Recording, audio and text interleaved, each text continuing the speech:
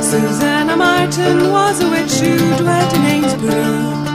With brilliant eye and salty tongue, she worked her sorcery. And when into the judge's court the sheriff brought her Oh, as she passed by, and then were seen to wither. A witch she was, though on me head, head high. It did not seem that one as she was Satan, so goodbye. Ah, and when in court the afflicted ones proclaimed her evil ways, she loudly laughed and boldly then met Cotton Mather's gaze. Who hath bewitched these mates? he asked, strong was her reply. If they be dealing him like art, you know as well as I.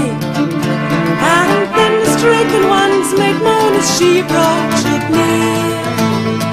They saw shame upon their broom, so none could doubt 'twas there.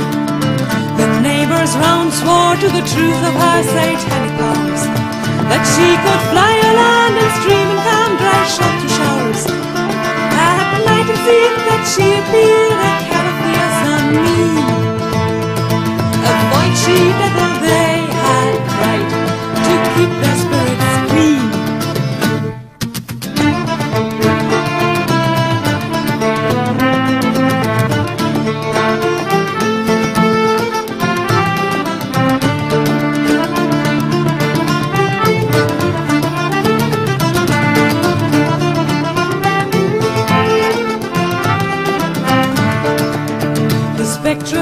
evidence was and stern the parson spoke. Thou shalt not suffer a witch to live, 'tis written in the book.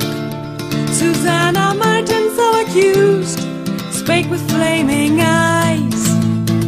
I scorn these things, for they are not but filthy gossips' lies. Now those bewitched they cried out and loud their voice to bring. They saw a bird above